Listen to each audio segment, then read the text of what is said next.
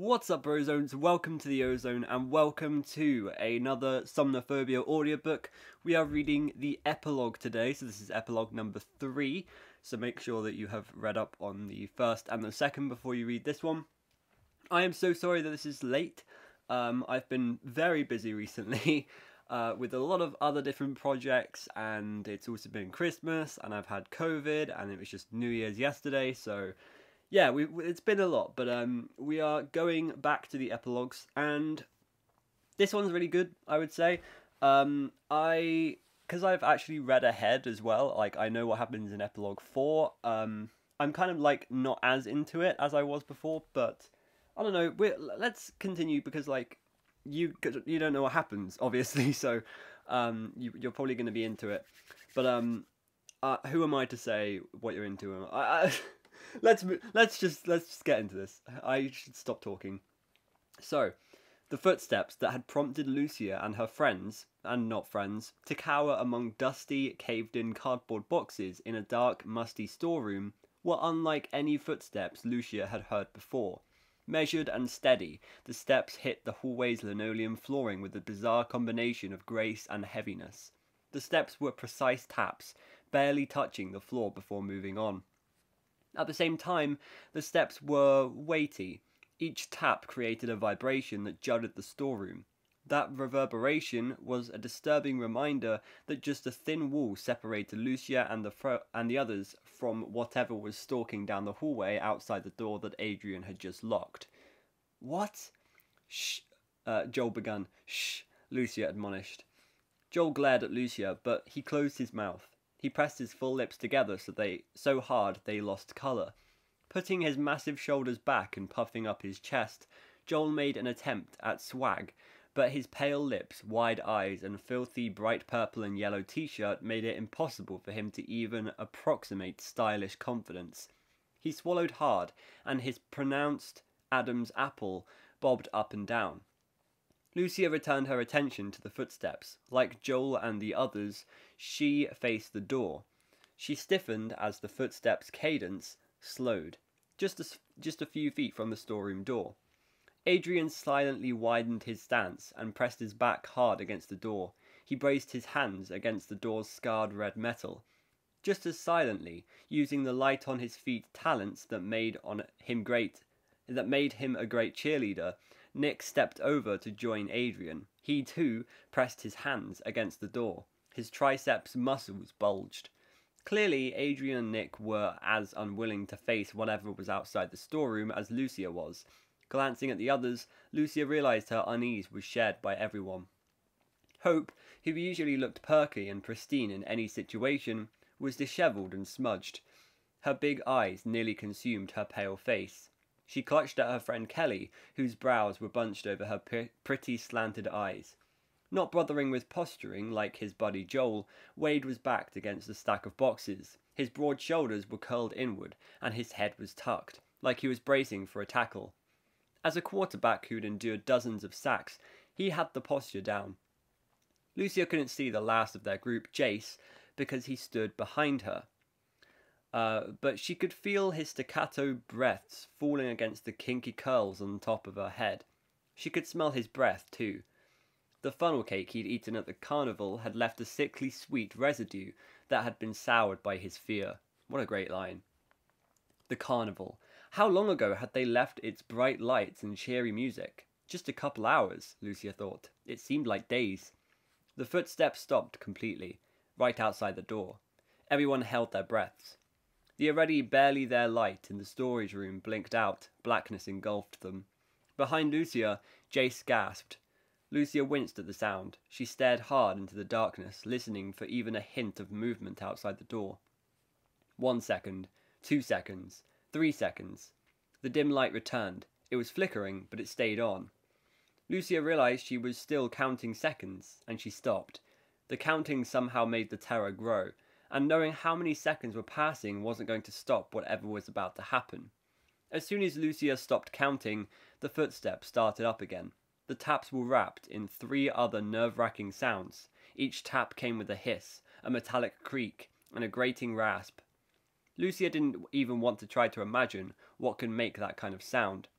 She could tell by the others' taut expressions that they felt the same way. Trying not to count, and failing, Lucia started up again and got to 27 before Adrian removed his hands from the door. Nick followed suit. Everyone remained deathly quiet for another full minute, then Adrian carefully walked away from the door.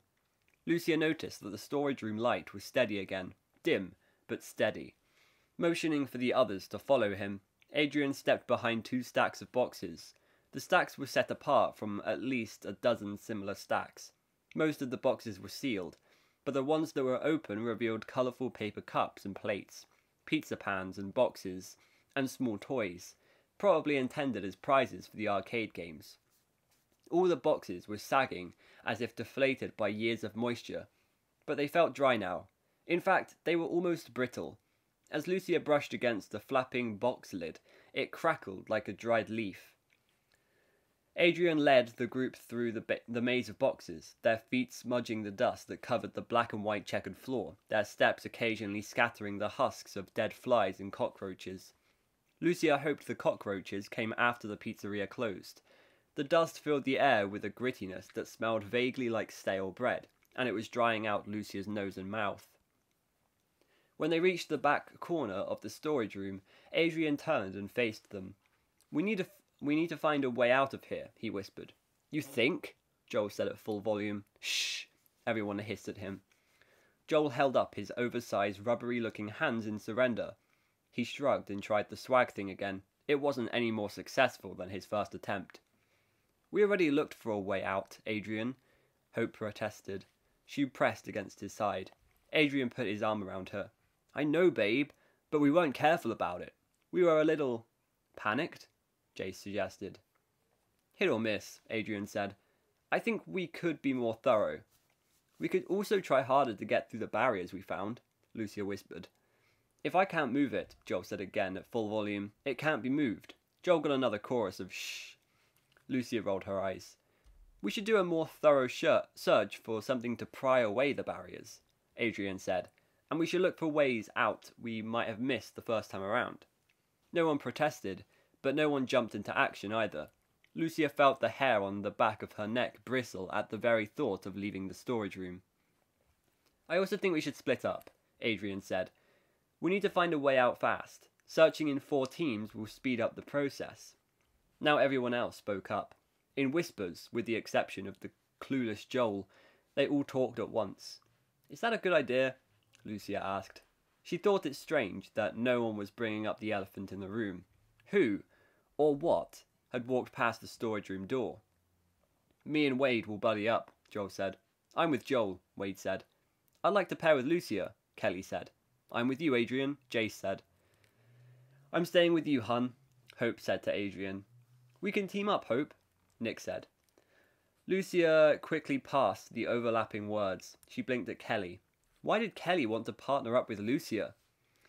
Adrian, who apparently had decided he was in charge, but he did it in a non obnoxious way, pointed at the others in turn.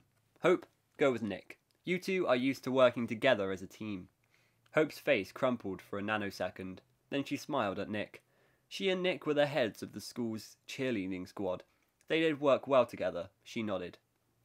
Jace and I will pair up, Adrian continued. Lucia, are you good with Kelly? Sure.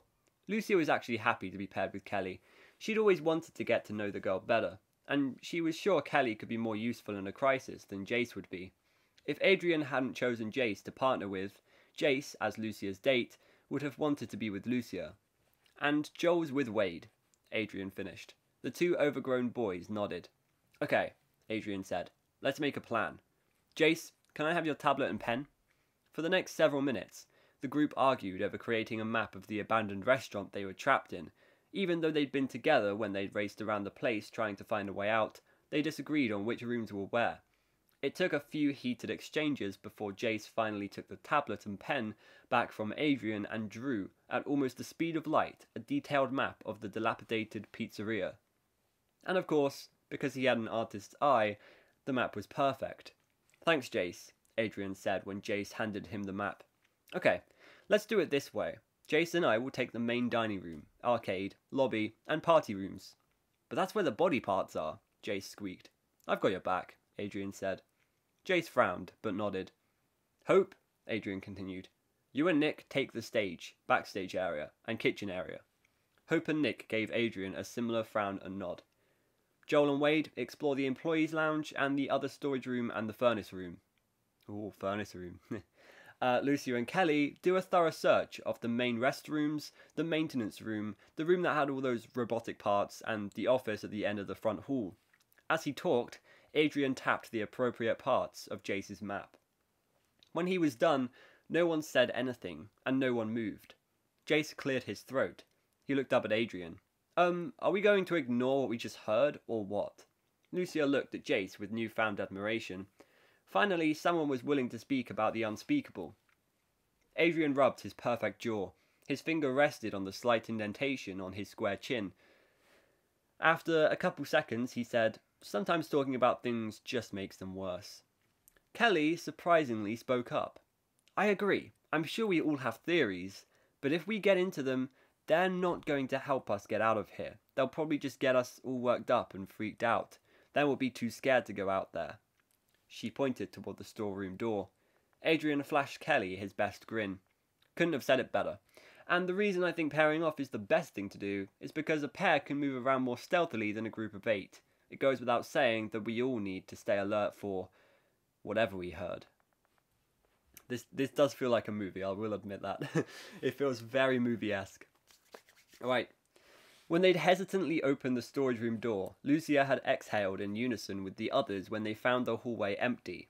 Without discussing it, they all split into their assigned pairs. Even Joel appeared to understand the need for silence as he and Wade crossed the hallway and headed toward the employees' lounge. A few feet back toward the dining room, Hick, uh, Nick and Hope paused by one of the two swinging doors leading into and out of the kitchen. Hope blew a kiss to Adrian, and then she and Nick slipped into the kitchen. Hope's face was taut, her brave smile strained. Nick's expression was blank, focused. Adrian, Jace, Kelly, and Lucia went further down the hall, heading toward the dining room. Every step they took through the dimly lit hallway raised Lucia's blood pressure a bit higher.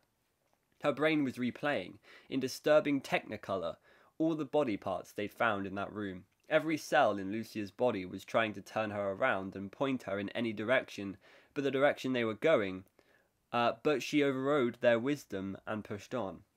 Once they reached the shadowy, cluttered dining room, however, Lucia was happy to do her group's bidding. They urged her to pick up the pace, and she took off at a jog toward the archway leading to the lobby.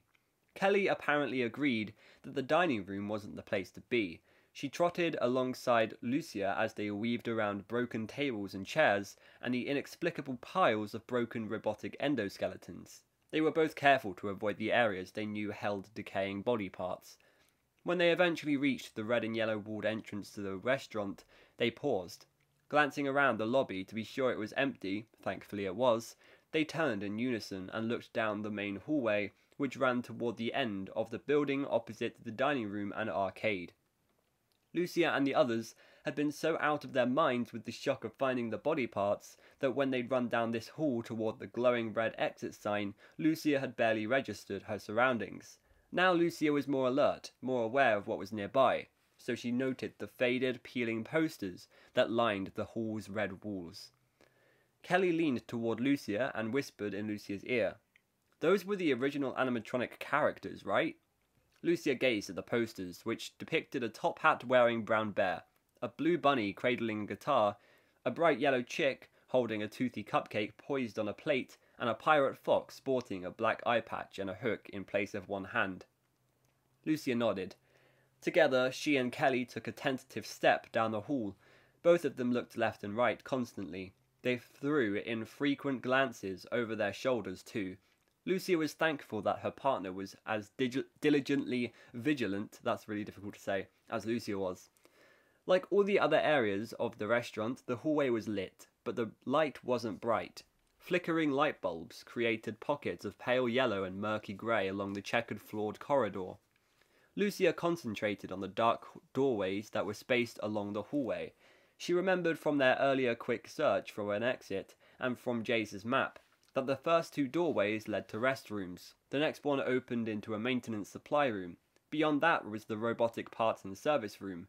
And at the end of the hall, just before the exit that was completely blocked by concrete blocks and heavy metal endoskeletons, a small office sat shrouded in murky half light. Restrooms first? Kelly asked. Lucia nodded. Together they walked to- forward and eased open the soiled yellow door that was marked Ladies. They stepped into a room lined on one side by a white sink stained brown by dirt and dust, and on the other by a row of disconcertingly dark stools with closed red metal doors. Because the restroom was even gloomier than the hallway, Lucia couldn't see under the stool doors. Anything could have been lurking behind them. Lucia exchanged a look with Kelly, who pointed at the first closed stall door. Together they took mincing steps toward it. Yo, dude, Joel said, reaching into one of the black metal lockers lining the back wall of the employees' lounge. Check this out. He held up something small and rectangular. It's a pager. How's that for a blast from the past? I think that's how you say it. Yeah, pager, not packer. uh, if you don't know what a pager is, I'm pretty sure it's like a, a tape, right? So like an old tape, um, which could be connected to Henry. Wink, wink. Uh, Wade, who had been trying to loosen a vent cover on the other side of the room, lifted his head and scowled at his friend. Could you keep it down? he scolded in a loud whisper. Joel grumbled and flipped closed the locker he'd been rifling through, or riffling through. Sorry, I always say rifling. Um, it's the spelling that catches me out. The metallic slap echoed through the room. Wade cringed and shook his head. Wade and Joel had been friends for two years, since they both got on the varsity football team. Sometimes, though, Wade wasn't so sure friends was the right word to describe their relationship. The truth was, they didn't have a lot in common. Football was pretty much it, but that didn't stop them from hanging out together all the time. Once in a great while, usually because he was feeling sorry for himself because his dad had smacked him around, Wade was willing to admit that he and Joel spent all their time together because neither of them had any other real friends. Most of the time, though, Wade just pretended he chose Joel as his best buddy, and he put up with his friend's frequent stupidity. Wade wasn't in the mood to tolerate it at the moment, though. He wanted out of this place. Do you want to try to make some more noise? Wade flung at Joel. Maybe we can get to get. Uh, maybe we can get whatever was out in the hallway to come and face us off, off with us. Oh my gosh, sorry. Joel jutted out his chest. Think we can't take him? Wade sighed and returned to working on the grate cover. He was using his Swiss Army multi tools um, screwdriver to remove one of the cover's screws. You think it's a him? He muttered as he worked. Huh? Joel asked. Wade got the screw out. He just had one more to go before he could push the cover aside and see if the crawl space led anywhere helpful. What are you doing? Joel asked. I want to see where the ductwork goes, Wade said. Maybe it leads to an exterior vent. Sorry. Sounds like a long shot, Joel said. Wade bristled. Think you're going to find an exit in one of those lockers? He snapped. As soon as he finished talking, he heard a fingernails on a chalkboard like screech. He whirled and glared at Joel. What are you doing now? Wade hissed.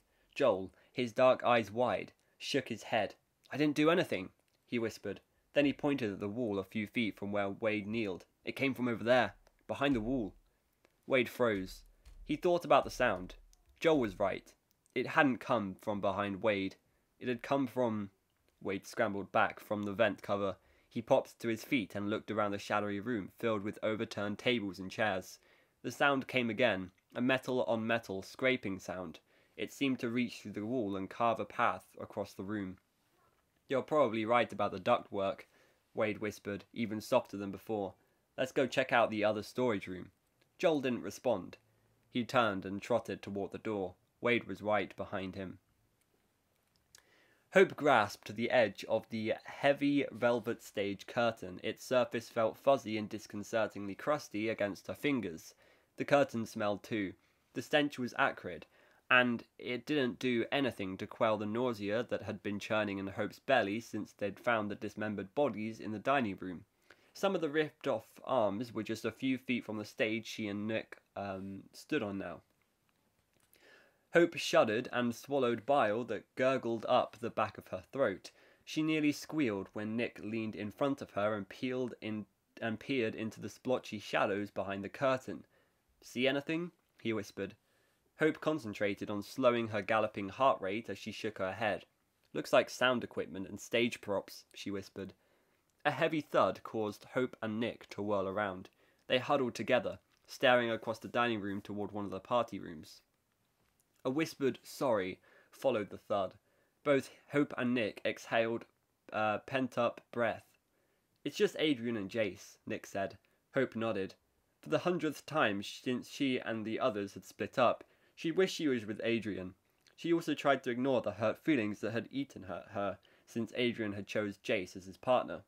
Sure, Jace was Adrian's best friend, but Hope, after all, was Adrian's girlfriend. Didn't girlfriend trump best friend?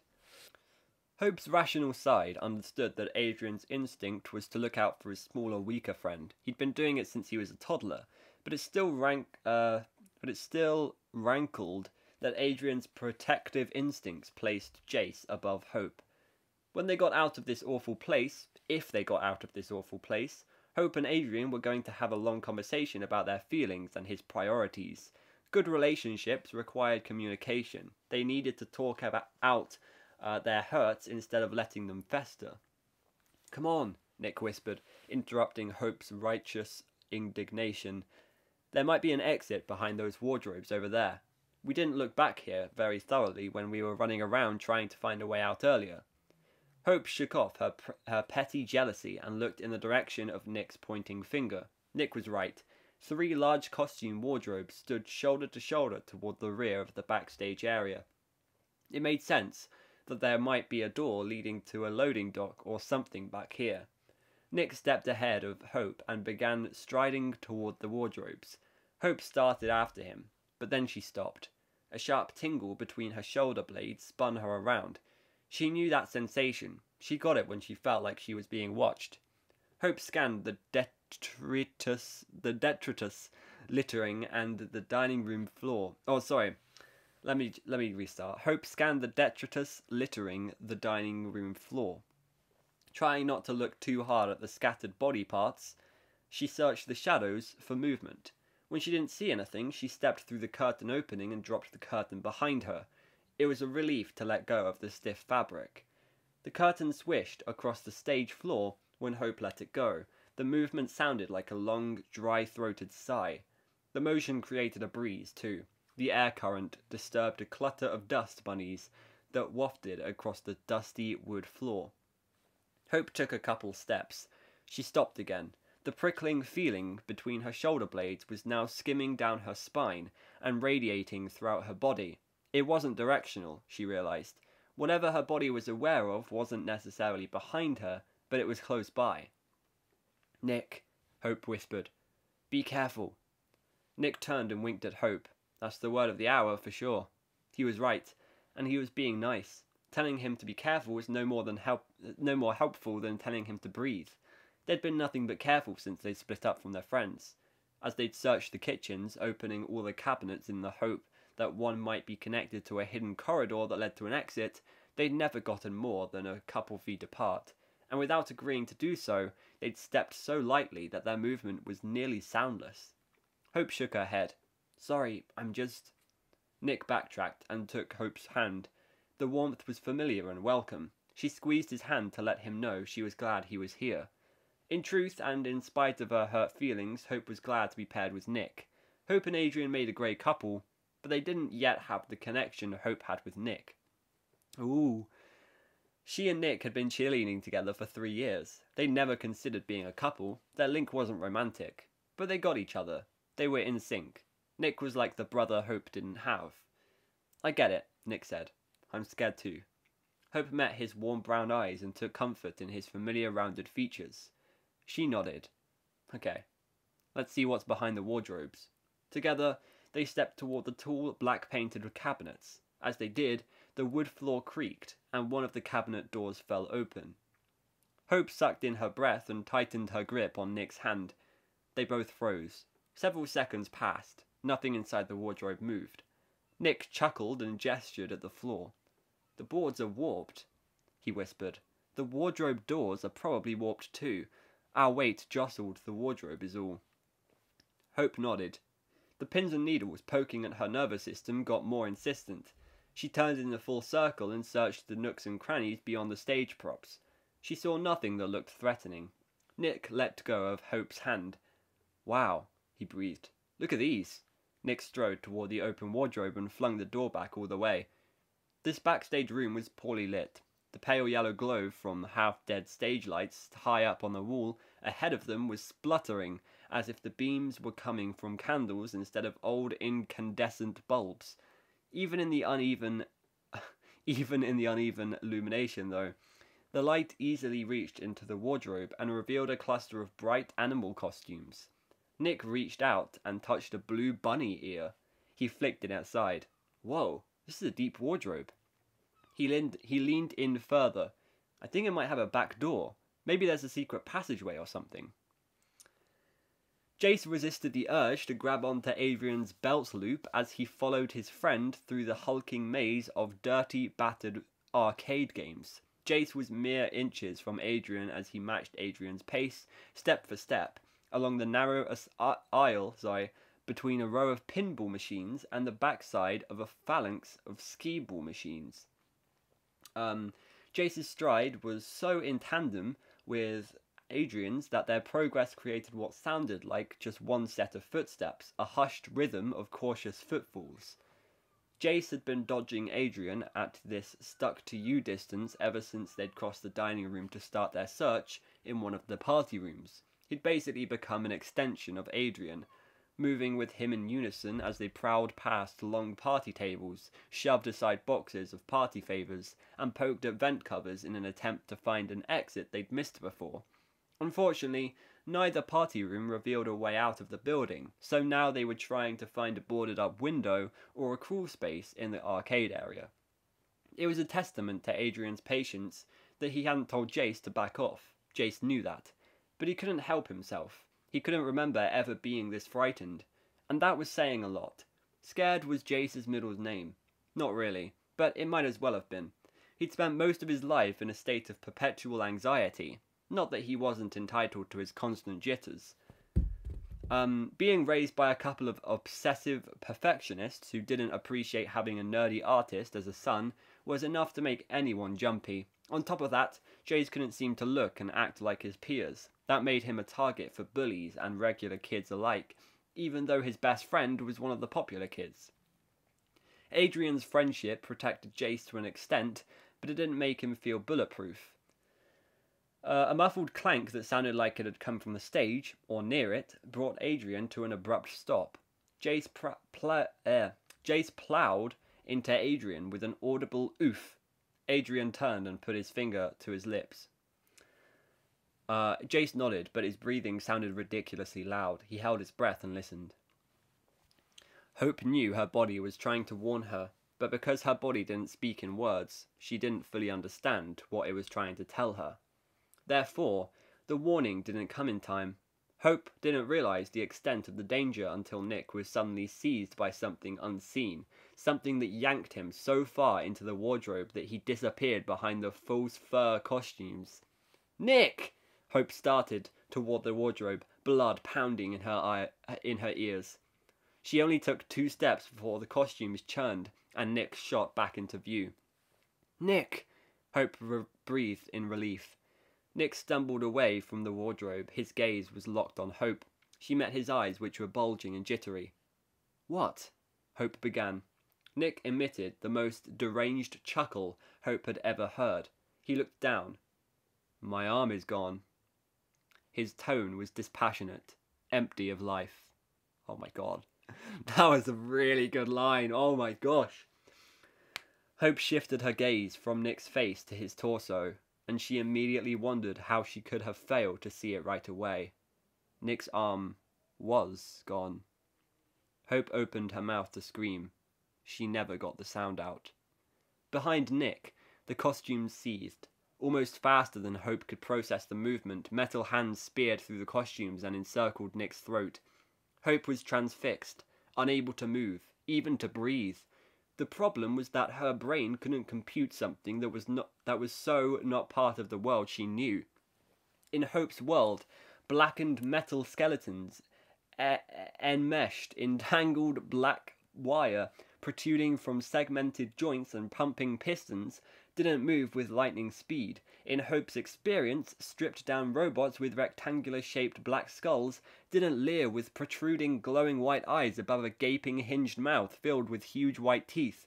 And in Hope's universe, sharp metal fingers didn't twist off a head with a wet snap as if it was a bottle's lid. When Hope saw the torn remains of Nick's neck, she found herself in this new, appalling reality, and it annihilated her. For several seconds, Hope could do nothing but stare into the stark black pupils gleaming in the middle of the robot's swollen white eyes. The eyes were set in metal squares and separated by a vertical swollen metal nodule that kept that swept up to the top of the robot's skull, creating a narrow dome-like frontal bone. This part of the robot's cranium was filthy, spotted with rust-colored stains that Hope's mind vaguely processed as dried blood. The robot's intense gaze mesmerized Hope, even as her brain fought to process the creature's existence and the bright red blood that gushed between the articulated fingers at the end of its massive metal arms. In those few seconds, time slowed down so much that Nick's head seemed to tumble over and over endlessly as it headed toward the stage floor. Hope was mesmerized by the sight of Nick's lifeless staring eyes, there and then gone, replaced by a lock of Nick's thick brown hair, slick with his blood. Then the eyes again, and then the stark white of Nick's brainstem, jutting past the ragged edges of the skin at his jawline, rotating and falling, Nick's head arced toward the floor. And then it hit the wood with a sickening, sloppy thunk. And that's when Hope's brain rebooted. This time, it was able to get across her body's message Run. Just as the robot took a step toward her, Hope screamed, and then she took off. That was written incredibly.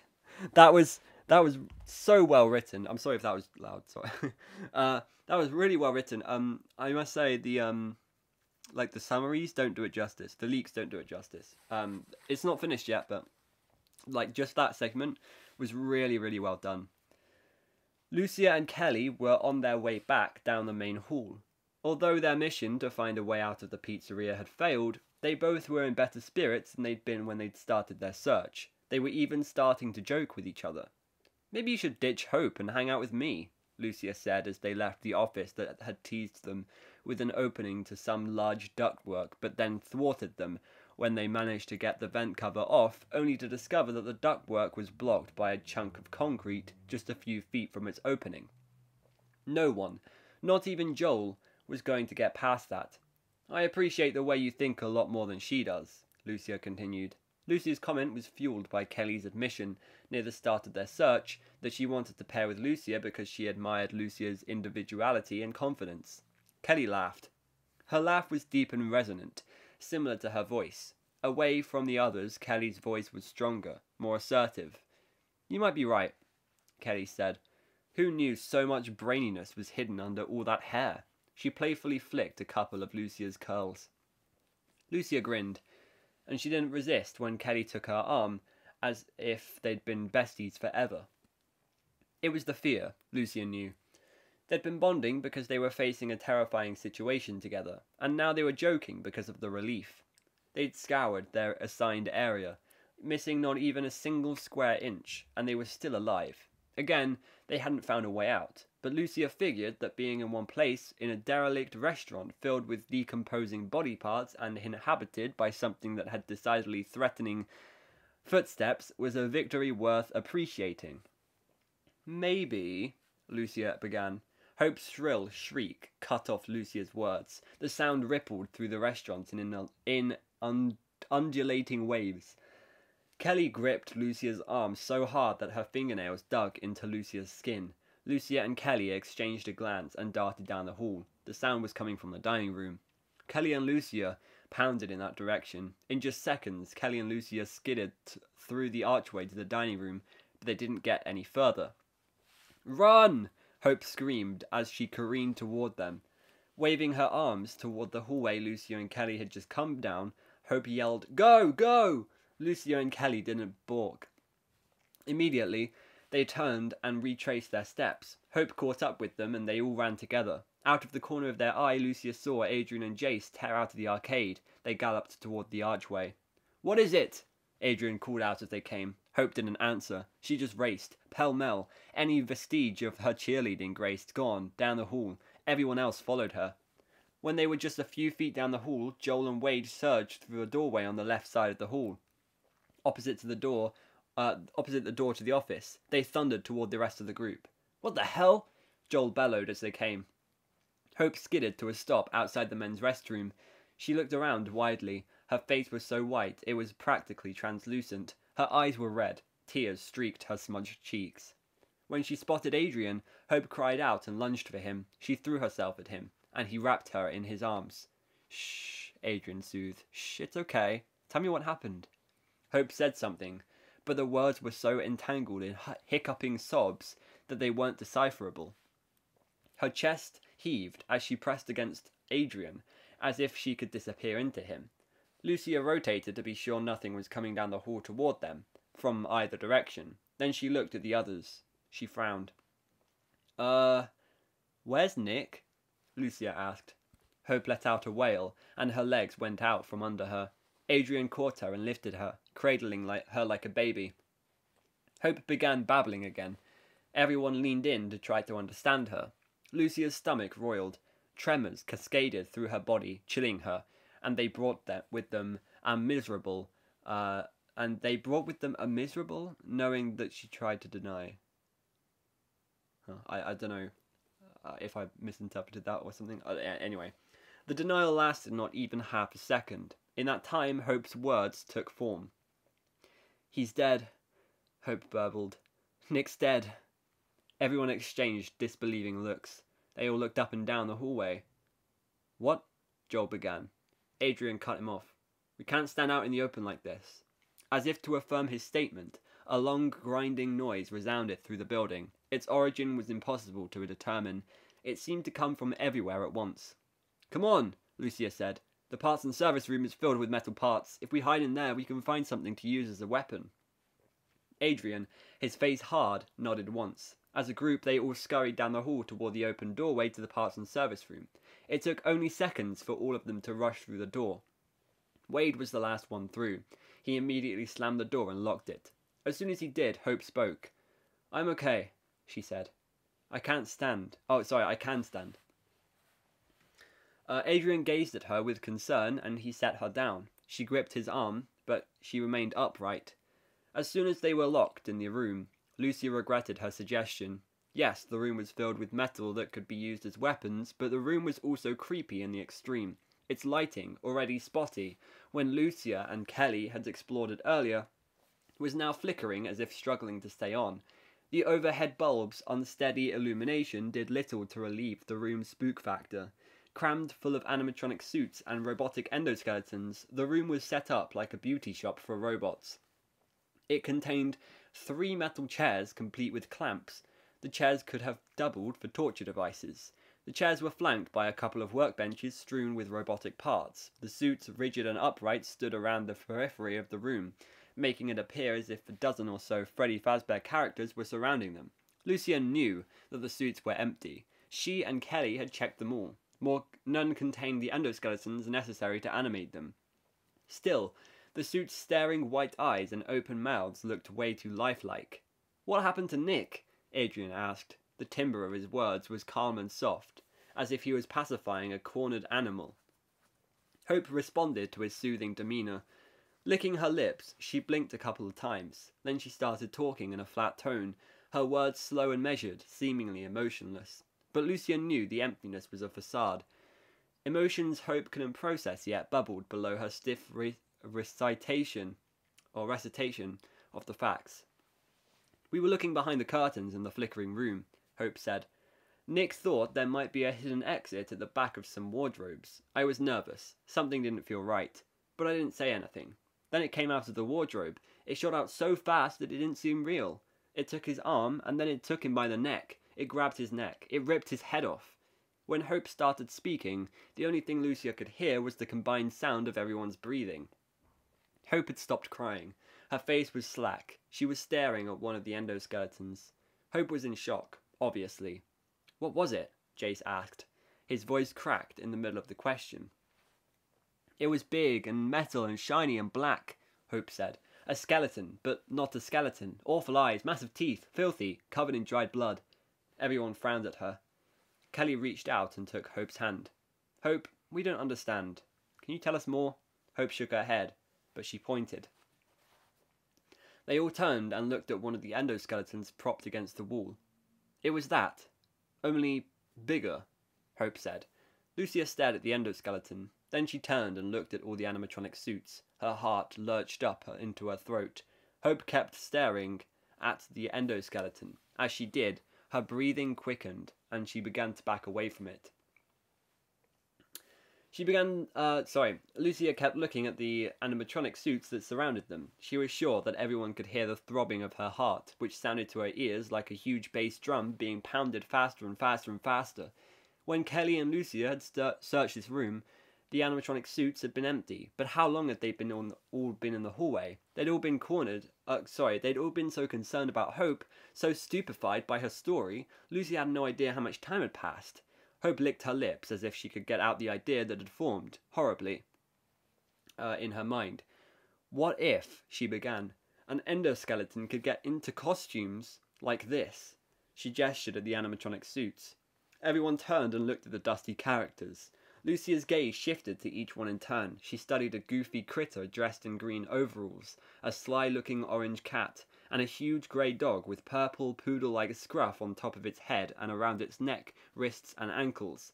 Next to the poodle like dog, and behind Hope, was another dog, its lolling tongue giving it a friendly look in spite of its spiked collar.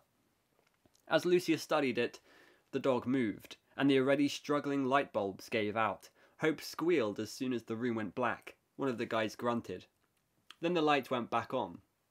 They were still weak, unstable, but they were on. In the moment the lights came on, that fraction of a second, the floppy eared dog stepped forward and its arms came up. It grabbed Hope's biceps just as Lucia cried out, Look out!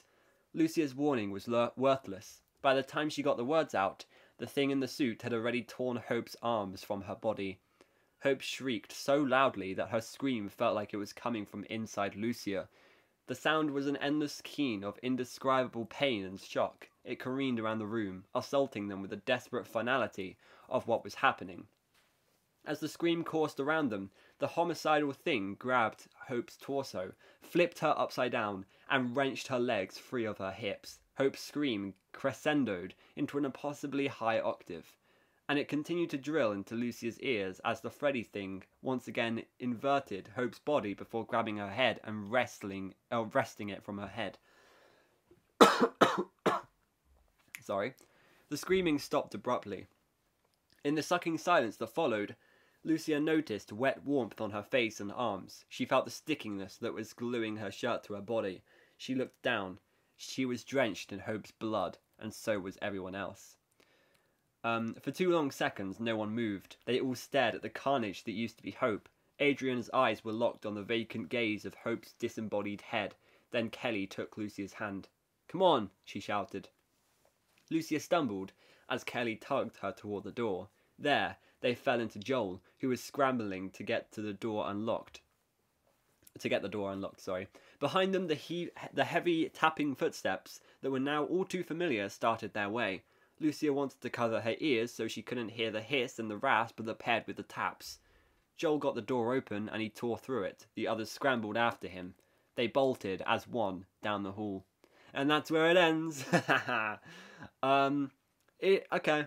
Looking back, it is it is a good epilogue. It's a very good epilogue. Uh, I feel like the second epilogue was kind of um, you know, introducing these characters, um, and it was kind of like a filler but this one definitely picked up the pace, and uh, it's it's really good. Yeah, so thank you so much for listening, watching. Uh, that's Somniphobia finished. We are going to be going on to Submechanophobia straight away because it came out like a week ago now. So um, yeah, we're gonna get into that next. So I'll see you then. Goodbye.